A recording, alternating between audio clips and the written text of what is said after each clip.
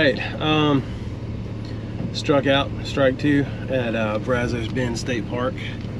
Um, fished well into the evening, looking for like brim and stuff. Um, there was a couple caught a. Uh, I don't know. I got to look it up. They were calling it a bowfin. I call it a gar. Uh, I think they're one and the same. I'll have to have to spot that out and see what see what it says. Um, there's like a pretty good bit of people down here. Ran into some alligator.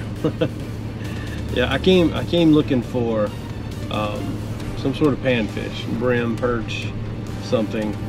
Um, kind of wanted to try that tactic and see if there were bait fish here. Um, so if there were bait fish, then I would uh, know how to switch my tactics because once I find the bait fish, I kind of know what they might be going for. Um, but nonetheless, struck out. I seen some action. I was, I was throwing like bread and uh, some worms and nothing. I, I could throw bread in periodically and I, I could see it as it dropped. Something was hitting it, minnows or something. But also right under the dock was a bunch of baby alligators and that was the mama alligator, pretty sure.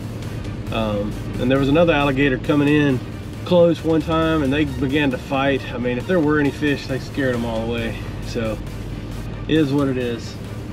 But beautiful afternoon here at Brazos Bend State Park. And uh, I love that I live like 15, 20 minutes from this place. So headed home now. It's dark. Peace out. Thanks for watching. Later.